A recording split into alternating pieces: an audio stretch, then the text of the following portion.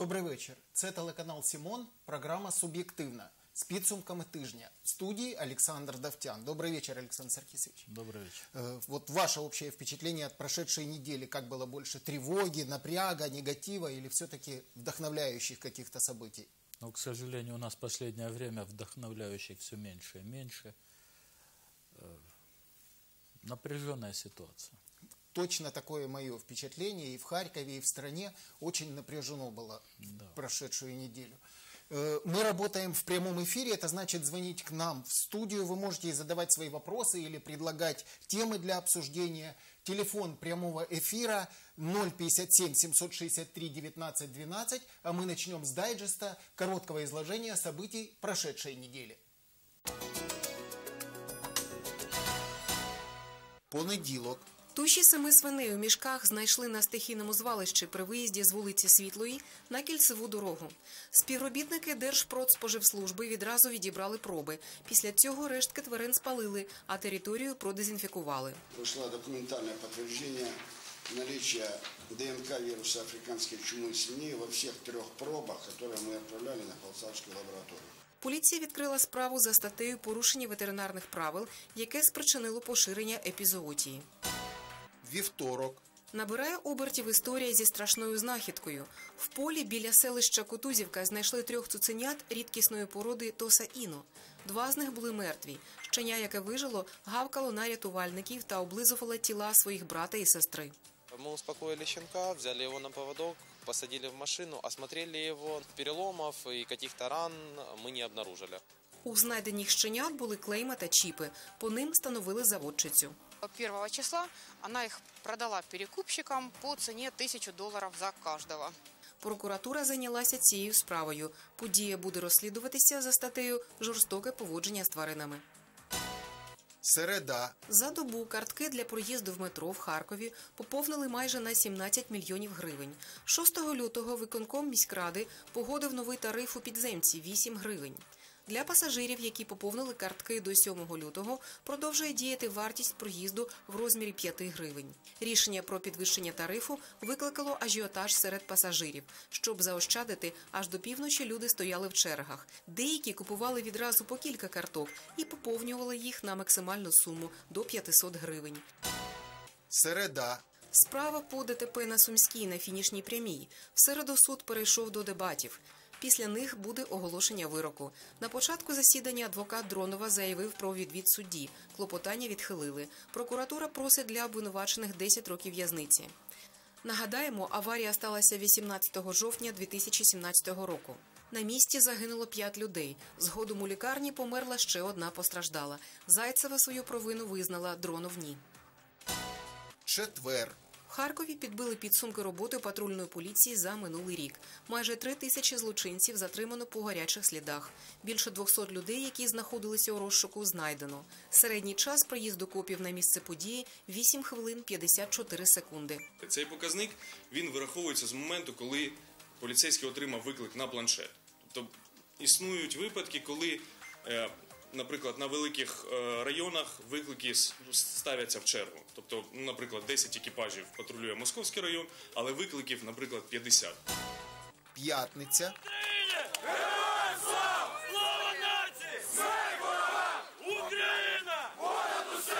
Близько сотні активістів закидали яйцями і зеленкою консульство Російської Федерації. Під стінами консульства в Харкові зібралися представники українських націоналістичних рухів і організацій. Акцію протесту вони вирішили організувати, тому що дізналися про призначення нового дипломата, що представляє Росію. За словами активістів, на призначенні повинні були бути присутніми проросійські організації з Полтавської і Сумської областей. Вони там збиралися спілкуватися, але коли вони дізналися, що ми в курсі за цю ситуацію, вони я так розумію, відмінили всі свої заходи і в ближайший час не будуть більше збиратися. Слава нації! Смерть ворогам! Україна! Субота. Увечері 9 лютого в Харківському метрополітені відбулася раніше анонсована акція протесту проти збільшення вартості проїзду.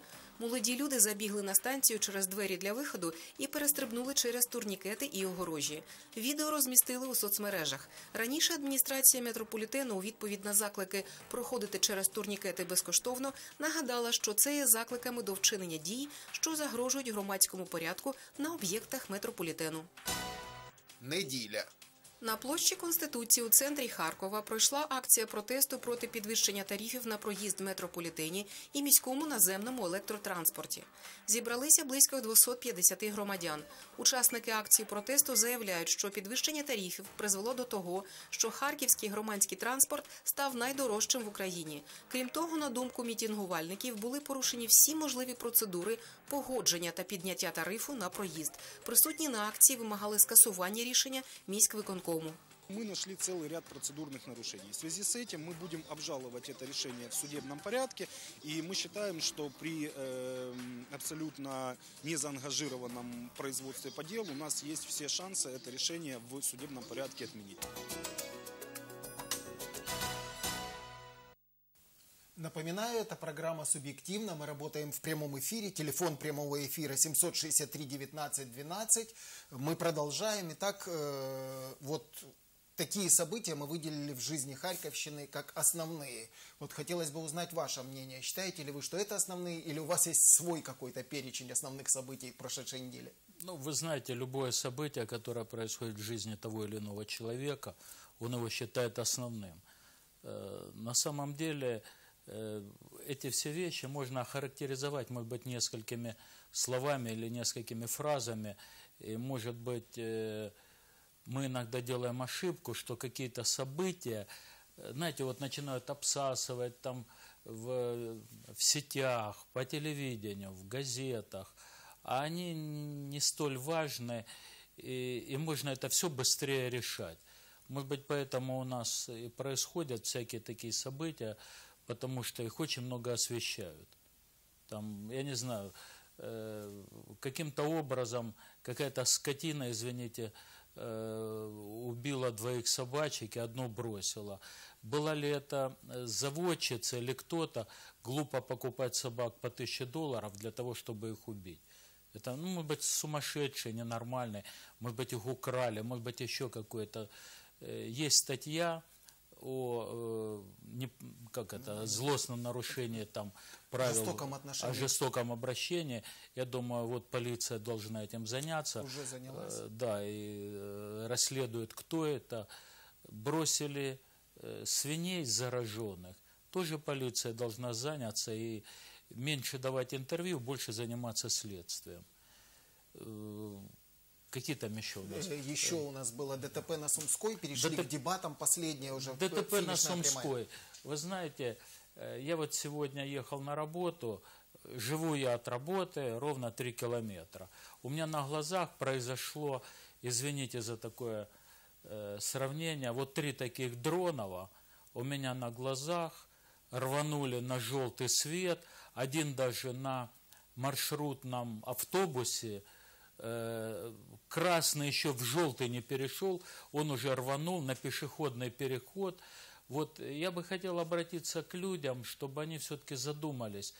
Человек э, переехал линию остановки на светофоре и рванул на желтый свет.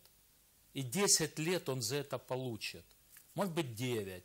Может быть судья, как обычно у нас, там на годик дадут меньше, чем прокурор. Или э, Зайцева, которая решила с кем-то посоревноваться и чуть сильнее нажала на педаль. 10 лет надо будет э, обдумывать эти вопросы, хотя на самом деле, наверное, это все было продумано и пережи- пережито за первые там две недели в тюрьме. Вообще у меня было такое предложение, знаете, когда-то оно, конечно, не очень ну, лояльное, нормальное. Вот после школы всех должны сажать в камеру. То есть, Вот все, сдал экзамены, посадили бы на три дня в камеру. И я э, уверяю, что сразу вылетит из головы тюремная романтика, и количество преступлений, поживет три дня в камере, в СИЗО. Уроки жизни. И через и э, преступления сократятся ровно на 50% как минимум. Потому что когда люди увидят, что там происходит, не захотят э, нарушать. Да, пожалуйста. У нас есть телефонный звонок. Э, Пожалуйста, э, мы вас слушаем. Представьтесь, пожалуйста. Алло, добрый вечер. Добрый. Меня зовут Раиса Ивановна. Я звоню с Московского района. У меня такой вопрос господину Д- Давтяну. Александр, будьте добры, может это, ну не к вам, но я уже не знаю, куда я не обращалась по поводу э, нормы газа на человека. Вот 30 числа 30 января на заседании Кабинета министров премьер-министр Гройсман сказал, что э, норма газа на человека уменьшается, вместо 9,8 устанавливает 3,29 куба, но не назвал номера постановления Кабинета министров. Я уже несколько раз звонила в Газбыт, мне отвечают, что у них норма газа на человека 9,8 и такие же присылают нам платежки. Я звонила несколько раз, обращалась на правительственную линию 1545. Три раза. Мне до сих пор нету ни одного ответа. Будьте добры, еще, пожалуйста, если можно, по поводу счетчиков. Я снова же звонила в этот газбыт, спрашиваю, как можно мы с мужем, оба э, пенсионера, инвалида второй группы, ветераны труда, дети войны, можно нам по льготному списку установить счетчик? Нет, говорят, у нас никаких льгот нету. Ждите общей очереди, когда в ваш дом будут устанавливать счетчики, тогда установят и вам. Будьте добры, можете мне на этот вопрос что-нибудь ответить? Спасибо большое за вопрос. Ну, конечно, не могу ответить, потому как э, я не работаю в правительстве, я не работаю э, в частной акционерной компании «Харьковгаз». Э, если Гройсман это сказал, надо, наверное, зайти на сайт Кабинета министров, если есть какие-то постановления, то, наверное, они там должны быть опубликованы. Я, извините, не могу вам на это сказать, э, ответить. Но если э, у вас возникают вопросы, можете прийти в мою депутатскую приемную, мы напишем запрос в кабинет министров для того, чтобы получить официальную бумагу э, с ответом, потому как, знаете, языком ляскать, не мешки ворочать. Сказать это одно – насчет, мы, наверное, будем сегодня говорить насчет вот этих всех обещаний, популистских высказываний. Очень многие политики почему-то забывают, что их э, слова люди воспринимают всерьез, потому что привыкли верить э, людям власть имущим. И, а на самом деле получается вот такая ситуация. Ясно. Напоминаю, что мы работаем в прямом эфире, и вы можете звонить к нам в студию, вот как только что сделала Раиса Ивановна, по-моему, так звали нашу телезрительницу, по номеру телефона 763 19 12. А мы продолжаем, и э, хотелось бы рассказать еще об одном событии, которое прошло в субботу в, в субботу в Харькове, но касается вообще всей Украины. Речь идет об акции в поддержку временно исполняющей обязанности министра здравоохранения Уляны Супрун. 5 января 2019 года окружной админсуд э, Киева э, временно запретил Уляне Супрун исполнять обязанности министра здравоохранения, частично удовлетворив иск нардепа радикала Игоря Масейчука одним из аргументов которого было наличие у Супрун гражданства США. Вот об акции, которая прошла в Харькове в материале Алики Пихтаревой. 5 лютого за рішенням окружного адмінсуду Києва було частково задовільнено заяву народного депутата Ігоря Масійчука про відсторонення від виконання обов'язків міністра охорони здоров'я Уляни Супрун. Харків'яни, які не згодні з таким рішенням, організували акцію на підтримку Супрун та медичної реформи. Медреформа не може е, виконатись протягом години, тижня або навіть року. Для реформування в Україні я вважаю потрібно не одне п'ятиріччя, можливо, п'ять більше десяти років. Медреформам так! Корупції ні! Корупції ні! Медреформа круто! Медреформі бути! За словами Антона Лисенка, вони хочуть привернути увагу небайдужих та започаткувати схожі акції по всій країні, аби в суді та Верховній Раді до пікетувальників прислухалися. Пікет харківських студентів на захист Супрун викликав неоднозначну реакцію серед перехожих. Це не реформа, це є геноцид. Уляна Супрун є без медичної освіти, диплому немає. Е, Як це лікувати людей е, простуду сквозняком? Скажіть, це хвора людина тільки може таке говорити. Незгодні з пікетувальниками люди викликали службу охорони. Її представники спробували припинити страйк, але дозвіл на проведення акції в електронному вигляді охоронці розглядати відмовилися. Акція продовжилась. Вот так несколько мнений есть. Есть за Уляну Супрун, есть против. Но давайте поговорим вот не об этом, а о самой ситуации. Вот как вы считаете, что это за ситуация возникла? Вы знаете, э, до, того, до этого суда, наверное, 80% страны были против Ульяны Супрун. Как только административный э, суд принял решение, на мой взгляд, очень законное, то все стали на ее защиту. Ну, уважаемые господа, давайте уже определимся, нужна нам Супрун, как она э, устраивает нас, как там главный фельдшер, или, потому что образования у нее нет э, высшего для того, чтобы быть э, главным в медицине, министром. Ну пусть хотя бы сдаст американский паспорт. Но она же американский паспорт сдать не хочет, потому как когда здесь закончится э, время ее пребывания в Украине, она спокойно опять уедет в Америку. Ей абсолютно будет все равно, как тут будут э, люди лечиться, как они будут покупать лекарства и будут ли покупать их вообще. Поэтому э, судья, э, наверное, не смотрит на эмоции, он смотрит на закон. По закону Украины двойное гражданство запрещено. Все, крапка. Я, например, за двойное гражданство. Я считаю, что человек имеет право выбрать себе одну-две страны, где он может... Может быть, у кого-то есть историческая родина какая-то. Там, не знаю. Любая. И он считает себя... Родился в Украине, живет в Украине. Но есть историческая родина. Почему бы не, не быть э, гражданином э, двух стран? Но э, по-любому человек, который идет на госслужбу, не имеет права иметь двойного гражданства, это даже в тех странах, где оно есть. Поэтому э, есть решение суда, его надо выполнять. Есть решение наших законов. Запрещено иметь двойное гражданство. А то у нас получается, приехал кто-то, ему дали гражданство, он то не сдал, как у нас была госпожа Яреська, Абрамявичус, э, Саакашвили. Но тут вообще, по-моему, труболет, у него вообще нет никакого гражданства. Теперь Украина забрала, э, Грузия его лишила, если я не ошибаюсь. То есть вообще ничего. Э, Ребята, приезжайте в Украину работать, выполняйте законы Украины, все будет нормально. Прискорбно, что э, обратил на это внимание тот э, господин, радикал, у которого у самого рыльца в пушку, и он сам там перед законом не очень чист. А теперь он кому-то тыкает, что, ну вот, вот такая реалия нашей политической жизни. Ну вот с другой стороны, э, вот если посмотреть на Уляну Супрун, то на мой взгляд, она э, достойно выполняет свои обязанности, это первое. А второе, но даже не об этом речь. Вот сами суды, доверие к судам очень низкое. Понятно, вы правильно сказали, э, закон есть закон. Но с другой стороны, вспомните, у нас было два генеральных прокурора. Паша, а кому у суда. нас высокое доверие? У нас у Верховной Рады доверие э, 5%.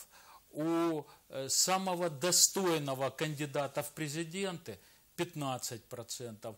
Но это абсурдная ситуация вообще для выборов э, ну, в международном масштабе. Это абсурдная ситуация, э, когда там 44 человека, из них, ну, наверное, 10 имеют там по 5, по 6%, по сколько-то.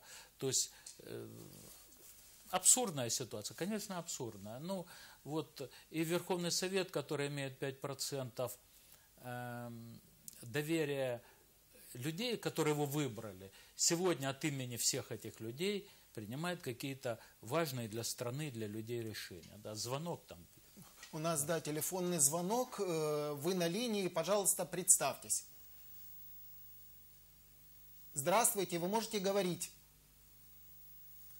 беспокоит поселок Высокий, батюшка Ольга Марковна. Э, говорите, пожалуйста, вас плохо слышно, вы уже в эфире. Хорошо, я буду говорить громче. Да. Вас беспокоит Батищева Ольга Марковна. Я задаю такой вопрос. Как мне, я как дитё войны, как мне вернуть льготы? То есть у меня была субсидия, потом субсидию мне не дали. И льготы тоже не вернули. Ну, наверное, надо обратиться в соответствующие органы, Да, я- которые выдают эти льготы. Я... Ну как выдают? Их выдали. Подтверждение есть, ему есть. Ну, обратитесь, пожалуйста, ко мне в приемную. Это в гостинице Харьков, депутатская приемная, хотя Высокий не входит в э, город Харьков. Но у нас есть депутаты областного совета, у нас есть депутаты Верховного совета. И по- по- постараюсь вам помочь. Во всяком случае, что касается на уровне Харьковской области, мы получим ответ для вас, э, чтобы было понятно, или вам должны эту льготу дать, или вы на нее не имеете права. Как это не имеем права? Но Ну, я не знаю, я ж не могу с вами спорить, имеете, не имеете. Э, Поэтому, пожалуйста, мы вас ждем и с удовольствием попытаемся вам помочь.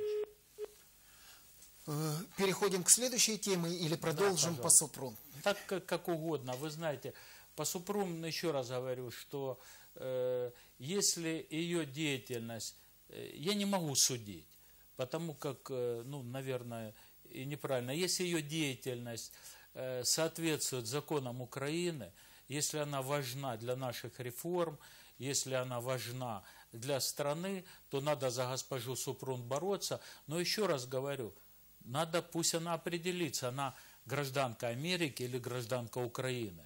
Ну вот у нас такой закон.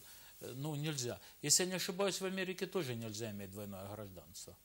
Не могу точно сказать, но но, у меня, даже... у меня есть такая... Там даже ж э, дело не столько в двойном гражданстве, как было то, почему ее все время временно исполняющая, по закону она имеет право быть только месяц исполняющая, она уже два с половиной года исполняющая, потому что именно она настолько яро борется с коррупционерами, что ее невозможно, все знают, провести через Верховную Раду, сделать министром. Так нарушать закон о двойном гражданстве – это та же коррупция.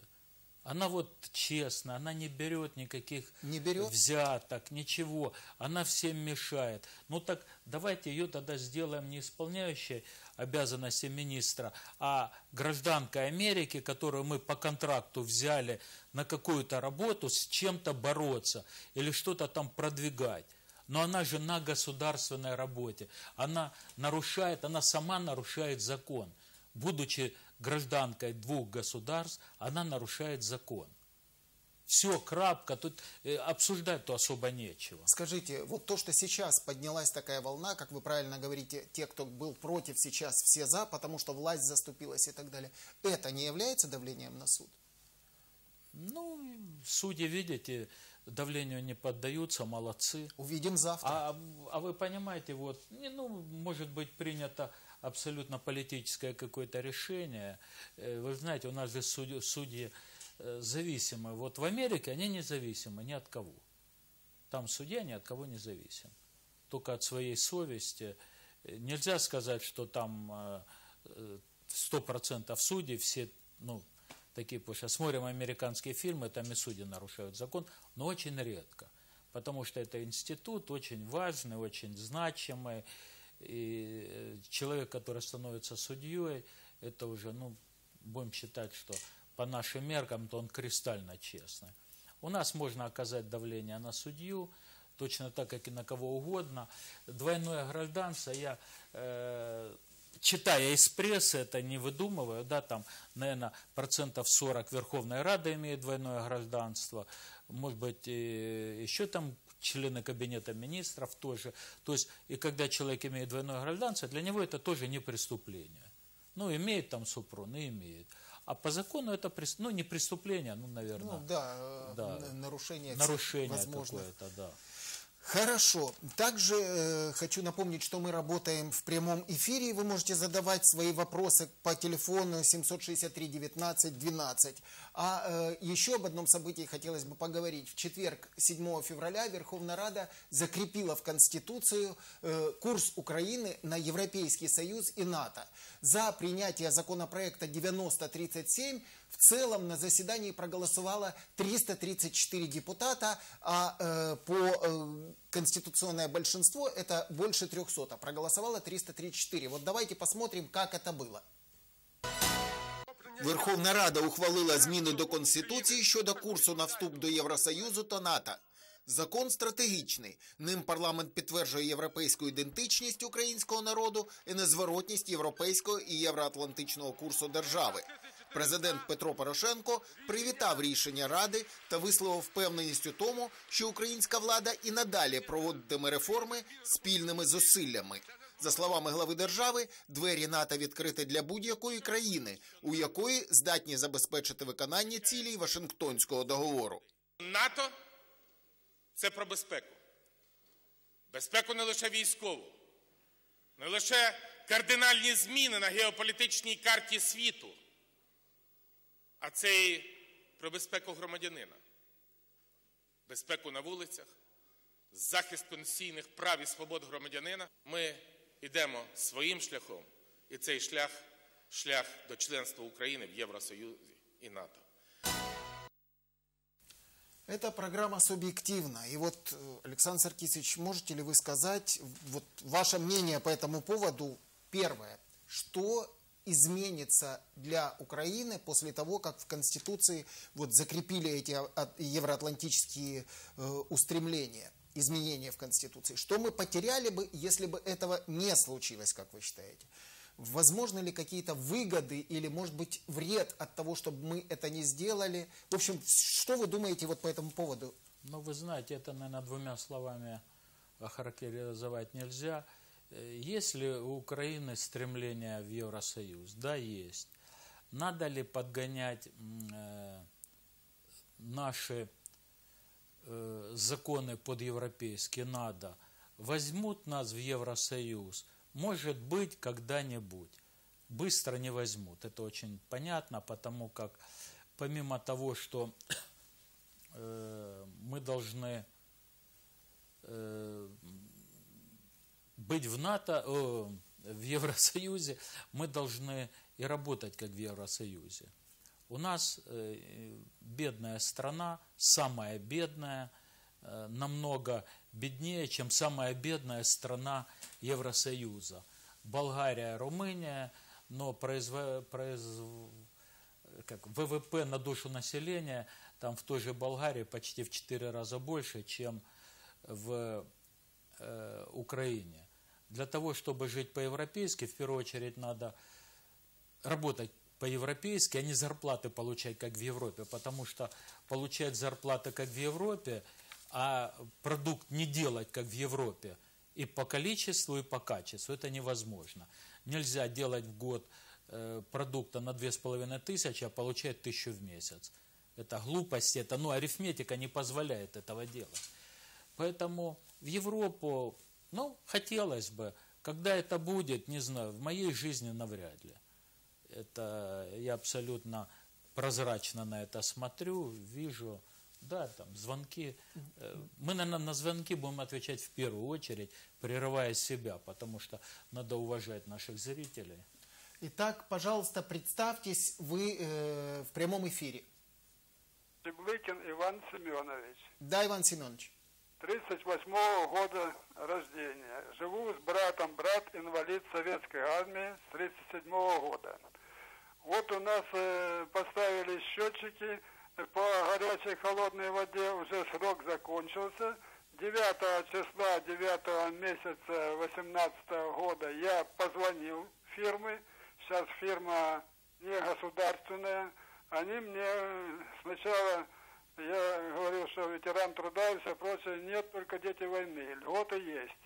Но нам не, не выдают деньги. До сих пор никто не выдает деньги. С меня же теплосеть сдерет шкуру за то, что я столько просрочил. Спасибо. Да. Ну, еще раз хочу сказать, на эти вопросы я не могу отвечать, потому что э, мне многое непонятно. Дети войны, дети какой войны, что это за дети войны, кому эти льготы дают. Мы знаем ну, из политических наших моментов. Дети войны это было принято, э, когда Александр Александрович Мороз был э, председателем Верховного Совета, и для того, чтобы завоевать какое-то количество избирателей, он придумал такую формулировку «дети войны». Тот человек, который родился до войны или во время войны, он имеет право на льготы. Почему, я не понимаю. Почему тот человек, который родился в конце 46 -го года, не должен иметь льготы, а который родился в начале 46 должен иметь льготы. А счетчики, ну, наверное, это тепловые мережи, надо к ним обращаться. Если есть такие вопросы, вам надо обратиться опять-таки в мою приемную. Мы обратимся в тепловые сети, и мы для вас получим исчерпывающий ответ. Если они обязаны установить счетчик, они его установят. Если не обязаны, то, извините, ну, на силу мил не будешь. Давайте продолжим по поводу э, евроатлантических изменений в Конституции. И вот э, интересно, что вот оно как бы было вместе, да, что э, вступление в Евросоюз и НАТО. Понятно, что в Евросоюз вообще хотели все, в НАТО не все хотели. Вот как вы считаете, вот теперь, когда в Конституцию большинством голосов принято э, такие изменения, будут изменены они, э, необратимы ли эти последствия? Или, допустим, следующий какой-то, или через один, ну, или когда-нибудь? Вы знаете, на самом деле, наверное, нам надо будет как-нибудь с вами юриста какого-нибудь пригласить, который более квалифицированно это скажет. Ну, на мой взгляд. Ну, у нас же субъективная Абсолютно. позиция. НАТО. НАТО не принимает, э, по уставу НАТО нельзя э, вступить в этот альянс, если на территории страны идут какие-либо военные действия. У нас они идут. И у нас есть спорная территория. Мы за нее, ну, не воюем, но мы, э, вот Крым это э, территория, которая во всем мире как бы есть, э, она считается во всех нормальных странах. Это украинская территория, страны, которые Россия в том числе считает, что это их территория, то есть территория спорная. Э, Донбасс, военные действия. Каждый день мы же, э, давайте откровенно говорить, там идет война, каждый день гибнут люди, мы читаем сводки, э, каждый день, ну, может быть, не каждый день гибнут, но гибнут. И каждый день раненые, обстрелы. Во время военного конфликта НАТО не примет. Это однозначно. Что касается Евросоюза, еще раз хочу напомнить цифры. Украина, у которой ВВП на душу населения две с половиной тысячи долларов в год, не может претендовать, чтобы прийти в Европу и, э, ну, знаете, тут очень много про это можно говорить, но эта вся Европа должна будет работать на то, чтобы Украину подтянуть к своему уровню. А у нас очень сложная ситуация, у нас некому работать. А, многие люди, э, их нельзя в этом винить, они за лучшую долю, особенно молодежь, они уезжают работать за границу. И здесь получается, кто в Украине сегодня? Э, на одного работающего чуть ли там не два пенсионера, которых он должен кормить. Он, работая здесь и платя налоги, он должен содержать двух пенсионеров. Ведь пенсия она ж не лежит где-то, ее надо зарабатывать каждый месяц, чтобы этим людям платить. Вот у нас очень сложная ситуация. То есть страна бедная, страна нищая. И нам было возьмет ли ее э, богатая Европа к себе под крыло? Думаю, нет. Может быть, когда-нибудь. Пока нет. Тогда мы переходим к следующей теме. Это э, то, что то же самое тоже было э, на прошлой неделе. Возбуждено уголовное дело против Медведчука. И давайте в небольшом сюжете посмотрим хронологию э, того, как это было. 5 февраля Генпрокуратура открыла уголовное дело о возможной государственной измене и сепаратизме против лидера пророссийской организации «Украинский выбор» Виктора Медведчука. Виктор Медведчук сделал громкое заявление на партийном съезде 29 января 2019 года в Киеве, заявив о необходимости образования так называемого автономного региона Донбасс с образованием собственного парламента и правительства, а также о закреплении такого статуса в Конституции Украины, говорится в сообщении ГПУ. У политика в ответ заявили, что дело против него – атака со стороны партии войны и внесение изменений в Конституцию Украины относительно автономии Донбасса не означает превращение Украины в федеративное государство. Итак, э, Ну, я уголов- думаю, что у Медведчука просто есть какое-то свое видение выхода из данной ситуации. Ведь э, многие люди ищут какие-то пути для того, чтобы прекратить войну на Донбассе, для того, чтобы все-таки э, там наступил мир, покой, чтобы граждане Украины с двух сторон перестали гибнуть. Э, может быть, должны быть какие-то переходные условия, какие-то положения. Естественно, то, что Медведчук предлагает, это все равно должен э, признать Верховный Совет, должны быть какие-то постановления. Но все понимают одно, что войну надо заканчивать, и ну, каждый человек вправе э, предполагать какие-то свои э, видения. Вы знаете, я вспоминаю, вот недавно была годовщина и смерти, и дня рождения Евгения Петровича Кушнарева, и чуть ли не вся страна уже после стольких лет, после как его нет, и восторгались ими, говорили, и вот это патриот, это то, надо вспомнить, что у Евгения Петровича была э, программа, и он считал, что Украина должна иметь федеративное устройство, за что и по- попал в тюрьму. Просидел там сколько там, неделю, две недели. Э, Поэтому у каждого человека может быть свое мнение. Я считаю, что за мнение садить нельзя.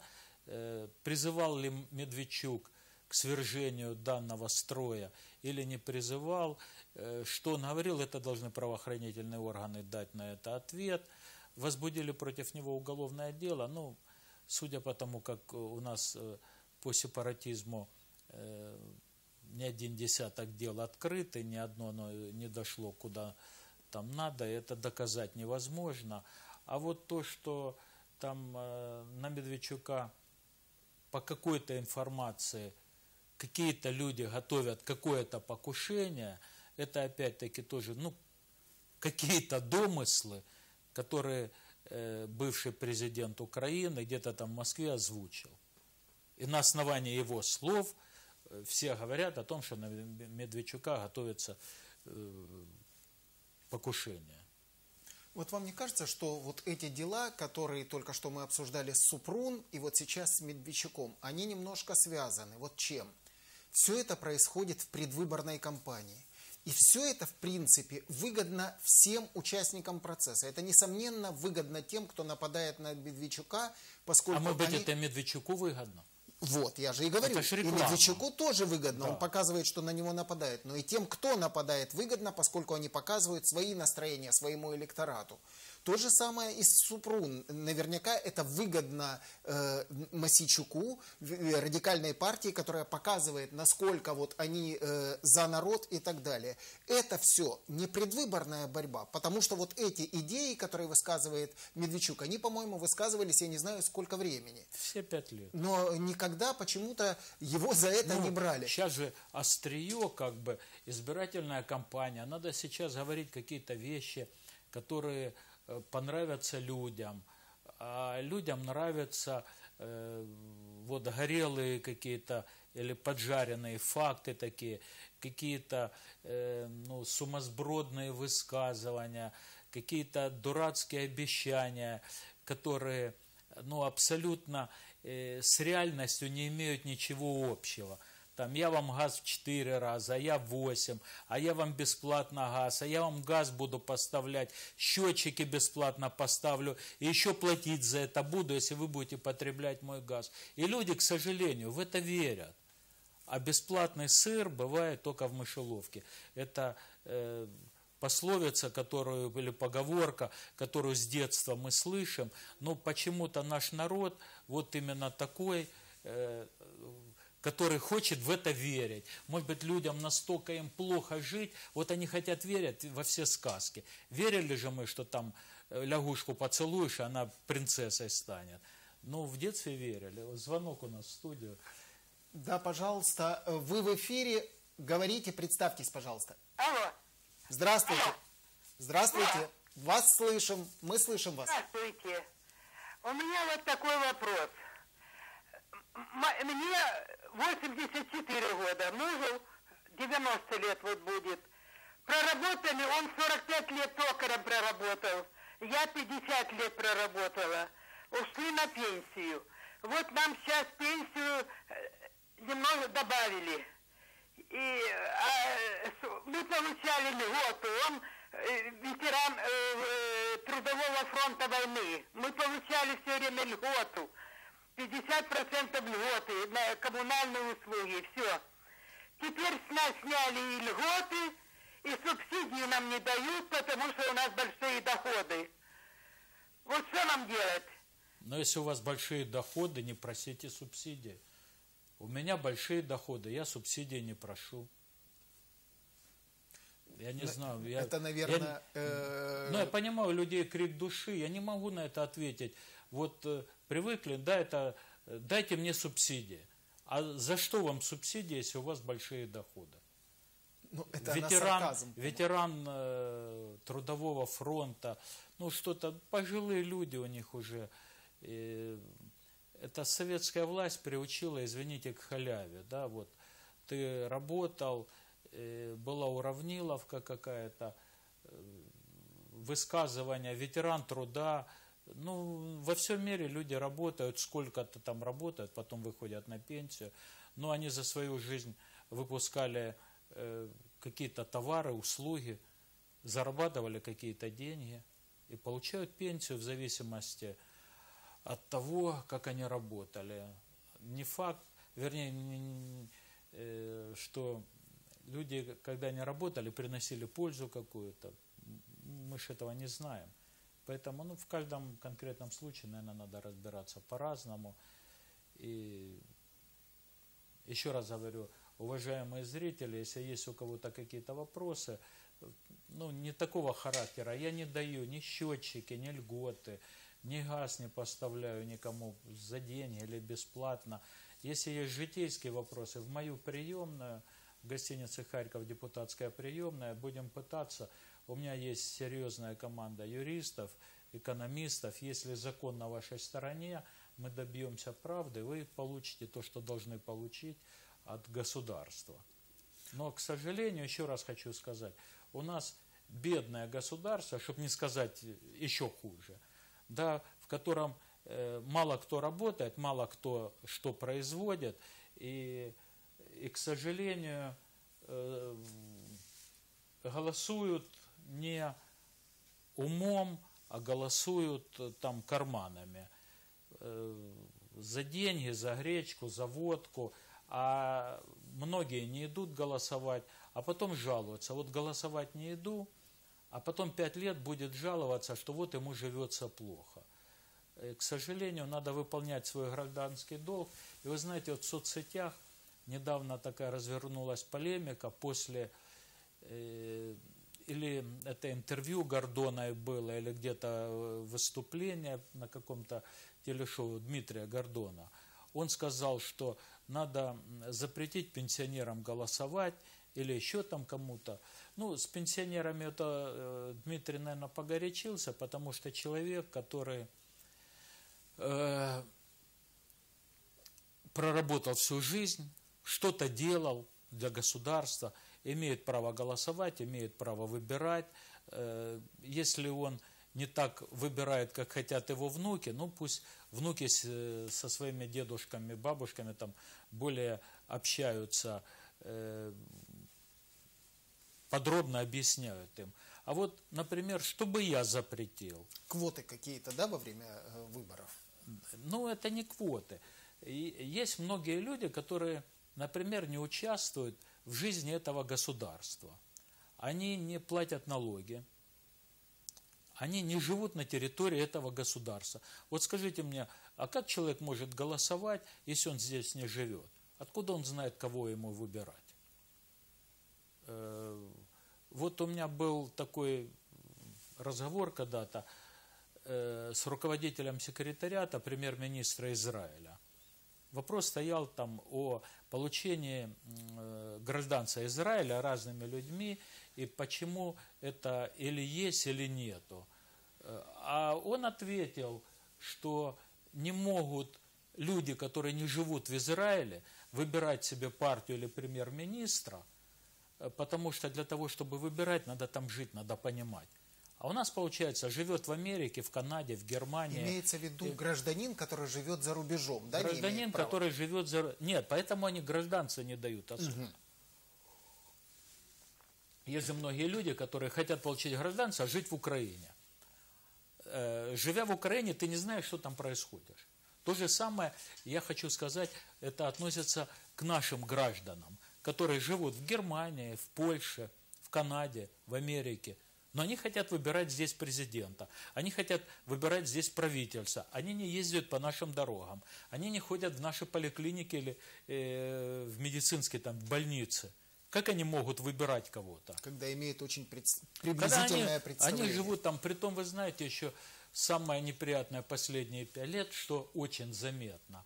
Э, например, украинская диаспора э, в Германии, э, я вот с ними общался, они смотрят российское телевидение, и у них представление о том, что происходит в Украине, глазами НТВ, там Россия-24, но выбирают они здесь. Как это может быть? Это, такого не должно быть. Так вот, люди, которые здесь не живут больше определенного времени, они не должны тут голосовать. Люди, которые не платят налоги в Украине, то есть не принимают участие в строительстве государства, их деньги не идут на вооружение, на больницы, на дороги, потому что государство существует за налоги. Они не имеют права голосовать. У меня был когда-то разговор с одним Э, там, молодым человеком, который рассказывал, как тяжело его мама живет, проработав 40 лет в горячем цеху, и вот она так плохо живет, а в подъезде у нее грязно, извините, там воняет, лампочки не горят, вокруг дома все плохо. А я ему говорю, а сколько ты налогов платишь? Притом это вопрос был э, нецеленаправлен, ну, как бы в беседе. А он говорит, а человек должен платить? Я говорю, минуточку. А чего тогда твоей маме в подъезде должны, за какие деньги ей должен делать подъезд или вокруг дома? Если ты, ее сын родной, не платит налоги этому государству. Вот как бы э, все очень просто. Платишь налоги, ты законопослушный гражданин, ты строишь это государство, и ты имеешь право претендовать на субсидии в пенсии, во время пенсии, на пенсию, на бесплатный счетчик. Если ты ни хрена не сделал для этого государства, если ты вырабатываешь, э, как мы взяли эти цифры, ВВП, две с половиной тысячи долларов в год ты производишь продукта, а получать хочешь тысячу долларов в месяц. Но не бывает сказок вернее, бывает в сказках, на печку сел, там щукой мотнул, и у тебя полный горшок золота. А в жизни такого не бывает, к сожалению. Не посеешь, не пожнешь. Э, Александр Сергеевич, если так, э, такая у нас, ну, в смысле, тяжелое положение, скажите, пожалуйста, почему тогда у нас сейчас 44 зарегистрированных претендента на одно место управлять этой экономикой? Это первое. Какое, И... извините, президент не управляет экономикой. Ну, не экономикой, Это а страной. Абсурд.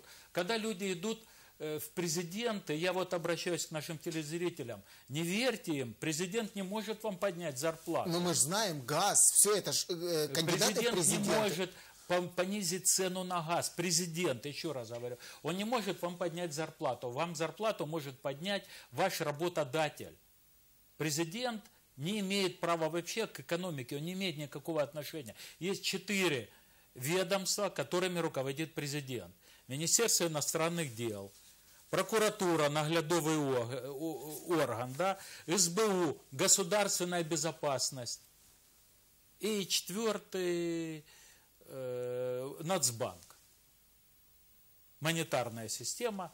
Э, так вот, не руководит президент ни газом, ни зарплатами, ни дорогами, ни подъездами, ничем. Он экономикой не занимается. Почему тогда все эти предвыборные обещания только касаются экономики? Вот Потому даже... что, а если, а если, если кандидат, ну представьте себе какой-то усредненный из 44, мы слепили честного кандидата, да, и вот он будет вам говорить, вы знаете, я сделаю так, что прокуратура будет смотреть э, за соблюдением закона, что прокурор не даст милиционеру ходить с вас, вышибать бабки или там, э, там не знаю, таможеннику, еще кому-то. Прокуратура будет э, надзирать за этим и следить за следствием, чтобы э, невиновного не посадили, а тот, кто виновен, обязательно получил наказание. Пограничники будут защищать границу. СБУ будет заниматься государственной безопасностью. Пусть лучше занимаются внешней разведкой, это то, что им положено. Пусть ищут шпионов на нашей территории. Это их работа. Э, Нацбанк ведет нормальную э, денежную политику. И Министерство иностранных дел будет вести политику за рубежом государства для того, чтобы поднимать престиж государства – а не ходить там выпрашивать у кого-то какие-то кредиты или еще чего-то. Или, э, знаете, многие работники зарубежных ведомств посвящают огромное э, время тому, что приезжают там народные депутаты, они их возят там по городам, показывают за, за, за рубежом. Не должны они этого делать.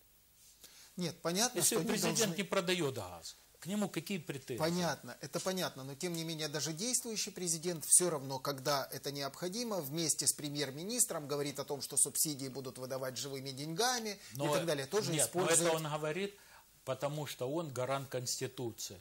Если закон принимается, он гарантирует соблюдение законов. Но президент не может говорить, что я вам сделаю зарплату, там, вы будете получать 700 евро. 700 евро зарплата – это 8400 в год. Для того, чтобы 8400 в год человек получал зарплату, он должен хотя бы на 50 тысяч евро, пусть не на 50, пусть в 4 раза или в 3 раза, э, пусть на 25 тысяч евро продукта произвести для того, чтобы получить вот эту зарплату. Но нельзя э, продукт производить на 2,5 тысячи, а зарплату получать 8. Это абсурд. Такого быть не может. Поэтому все, что вам сейчас лапшу на уши вешают во время избирательной кампании, именно так к этому относитесь. Я этому не верю. А вы хотите, верьте, верите, выбираете, жить будете вот так. Таким образом, не произнеся ни одного имени, мы, мы сказали в общем о предвыборных обещаниях, которые ну, дают ну, да, большая, вы знаете, большая часть депутатов. Смех 44 кандидата э, в президенты – это сколько мы собрали? 100 миллионов там где-то гривен, из них только один пройдет, по-моему, один или два, да, там да. у кого-то, э, кому вернуть деньги. Второе Одному. место. Президенту, тот, который... Президенту. А вот, ну, 100 миллионов тоже, но э, там же и бесплатное телевидение, еще какие-то им будут печатать, бюллетени. Э, Одних там... в избирательных комиссиях наблюдателей подсчитали – как Харьков город. Миллион сто тридцать тысяч, по-моему, будет. Чего? Одних наблюдателей в избирательных комиссиях от э, всех... В Харькове или всего? По всего будет а, столько, а, ну, как население Харькова. Регистрируется, да, регистрируется для того, чтобы получить наблюдателей. А может быть, кто-то там, я не знаю, по потешить свое тщеславие. Вот я был кандидатом в президенты. Люди, которые ничего в своей жизни не изобрели, не сделали, или там вот Э, я не знаю там, кто прав, кто виноват, но вот э, журналист, который, э, ну, опять, я не хочу его обвинять, я не знаю, в чем там суть дела, но э, то, что я читал, парень, который получил деньги как бы для каких-то целей, а эти денежки э, он никому не перечислил, и уже несколько дней разговор идет о том, что да, деньги есть, я вот сейчас их перечислю. Но если бы деньги были, их можно перечислить, это ровно 10 минут займет. Почему неделю? Значит, денег нет. Вы, Почему если вы говорите идет? о, о ГНАПе, о одном Да. из кандидатов в президенте, то там история в том, что, скорее всего, он бы сейчас и перечислил. Но э, в 2015 году он получил эти деньги и должен был волонтерской организации перечислить. Теперь-то он бы сейчас быстро перечислил, но А почему не прошло. перечисляют? Сейчас? Да. Ну, потому что сейчас Паш, уже ну вы бессмысленно. знаете, когда мы 14-15 год занимались э, конкретно этими вопросами, не имело значения, наличные деньги, не безналичные, можно было взять наличные, поехать э, там куда-то, купить то, что нам надо было, и вручить этим людям, кому нужна была помощь. И для этого абсолютно не нужны были бумажки, отчеты, накладные. Мы помогали людям, и для этого абсолютно, ну, я вот ставлю себя на его место, да, если бы я получил, и когда уже, э, я, я о чем говорю, когда уже его, как бы, ну, как это сказать, за руку поймали, что он эти деньги не отдал, уже неделю разговор идет, да-да, я их сейчас куда-то перечислю. Да возьми, пойди эти деньги обналичь и отдай.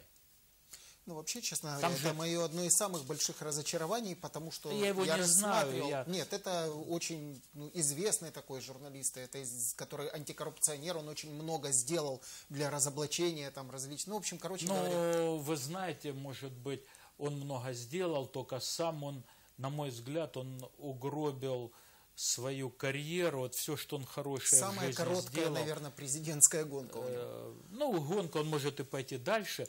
Просто, понятно, его никто не выберет никуда, как и 43 там еще человека, или 42 еще, э, кроме него. Э, Это, это какая, может быть, это какая-то страшная ошибка. Но я не верю, что 4 года с 15 по 19 9 тысяч евро лежали без движения. Да. Э, Я в это не верю. И какая-то глупость, если он это сделал, это огромная глупость. А вы знаете, именно поэтому, вот когда меня спрашивали, я был э, за то, чтобы все эти антикоррупционные э, деятели, все эти общественники заполняли декларации. Было бы все ясно. У него бы в его декларации надо было указать, что на его счету лежит 9 тысяч евро. Это было бы 4 года назад, понятно. Не надо... э, тот человек, который кого-то контролирует, ему нечего скрывать, якобы. А так получается, теперь же то, что сделал э, господин Гнаб, это, э, эта тень ляжет на всех антикоррупционеров. Ну, по крайней мере, осадок На много. остается. Да, но осадочек остался, не очень приятный. Поэтому, ну вот, э, как К бы береги честь молоду. К сожалению, какая-то невеселая у нас сегодня программа получилась. Мы обсуждали. А дальше будет время... еще хуже. Александр Сергеевич, вы просто... Веселого нет ничего.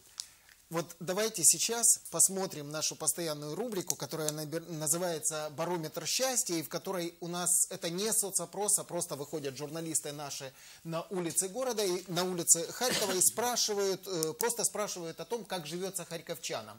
Давайте глянем, что отвечают харьковчане. Особой радости нет. Что только в таком возрасте, как я, раньше просто отдыхали, с внуками нянчились. Теперь носишься, деньги зарабатываешь. Без денег выселят с квартиры. Всю жизнь рассчитываю на самого себя. И я себе достаточно заработал денег и на пенсию для хорошего образа жизни. Я очень доволен всем. Это, может быть, странно звучит, но когда человек работает всю жизнь и думает о своей перспективе, и думает о том, что он должен рассчитывать только на самого себя, а не на кого-то другого, тогда все получается хорошо. Коммунальные дорожают, пенсии, то, что нам говорят, они там не растут. На 4 на 5 гривен выросла пенсия, до свидания. А услуги, все дорожает. Нищает народ. Ну что работа есть, семьи на данный момент нету, поэтому занимаюсь саморазвитием, учусь, поэтому все хорошо. Меня я не могу это так характеризовать, но мне кажется, что нам нужны изменения в сторону европейской интеграции. Ну, Другие отношения между людьми, как бы уровень жизни выше, э, демократизация межличностных отношений. В экономическом, наверное, лучше все-таки становится. И в духовном тоже. Не стоим же на месте, значит, развиваемся, значит, лучше. Значит, все-таки прогресс, а не регресс. Программа субъективна. Мы уже завершаем нашу программу, но я все-таки хотел бы, чтобы по законам жанра вы что-нибудь оптимистическое сказали в конце. Хоть что-нибудь оптимистическое. Вот о прошедшей неделе, о нынешнем времени. Есть у нас перспектива или нет, по-вашему? Ну, перспектива есть, только все зависит от нас. И еще раз хочу э, напомнить, никто э, не просыпается где-то там э, в такой в богатой Америке, Австрии, Франции и не думает, что мне сегодня такого сделать для Украины хорошего. Поверьте, никто. Если мы сами для себя ничего не сделаем, нам никто не сделает. И никто нам не поможет. И никто нас не защитит. Это все мнимое. Только сами мы можем себя защитить. В данном случае у нас за 4 года, за 5 лет э, создалась с нуля великолепная армия. Она еще будет набирать обороты, будет набирать силу. Армия у нас хорошая. А вот теперь осталось только экономику поднять, чтобы люди работали, платили налоги. Тогда будет все хорошо. Большое спасибо. Я хочу напомнить, что сегодня для вас в студии работал я, Павел Велицкий и Александр Давтян. Это телеканал Симон, програма «Суб'єктивна» з підсумками тижня. І е, наприкінці хочу сказати, Україна точно переможе. А як це буде, давайте слідкувати разом. До побачення.